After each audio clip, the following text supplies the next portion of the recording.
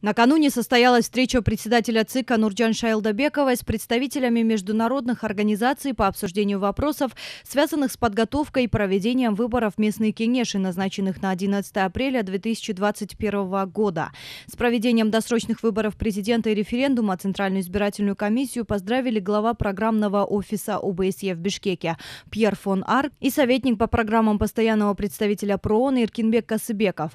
Нурджан Шайлдабекова рассказала об итогах прошедшего прошедших досрочных выборов президента и референдума. Она отметила, что благодаря реформе избирательной системы, которая проводилась при содействии международных организаций, в Кыргызстане была достигнута достоверность, прозрачность, инклюзивность выборов. Также она отметила, что на прошедших выборах был внедрен новый формат работы с правоохранительными органами. Кроме того, участники обсудили задачи в рамках подготовки и проведения предстоящих 11 апреля выборов в местные кенеши и в целом по организации выборного процесса в текущем году. Было предложено расширить информационную работу, совершенствовать дебаты, улучшить программное обеспечение, которое позволит проводить любые типы референдумов и выборов.